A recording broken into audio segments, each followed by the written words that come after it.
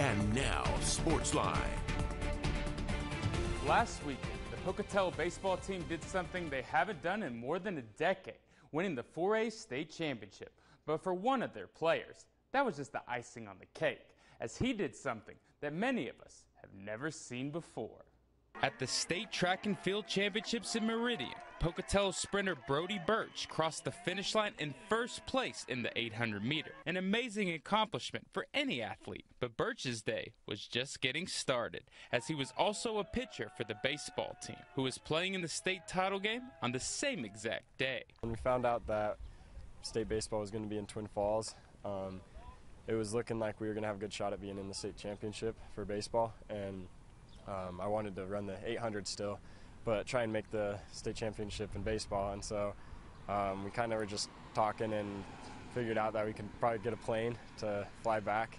And then my dad had some friends, and he was talking with them and called in a few favors and got us a plane ride back to Twin Falls. And off Burch went, going up in the air, having to shift his focus from one sport to the next. It was hard to get over the feeling after winning the uh, 800.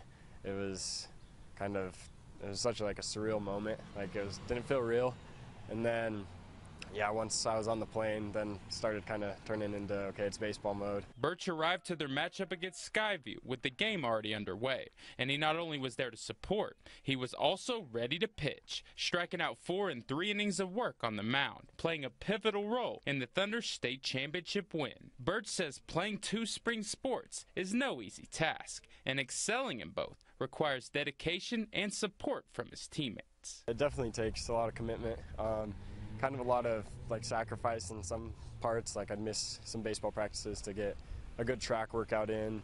Uh, or missing like baseball games for a track meet or the other way around. And for Burch, his time with the Thunder had a storybook ending, but his journey is just beginning. I'm going to go run at ISU next year, run track. Uh, I'm probably going to do a signing, I think, next week for that. And then, yeah, that's my what my future is looking like right now. Burch says it's been a cool feeling to see the notoriety that his story has received.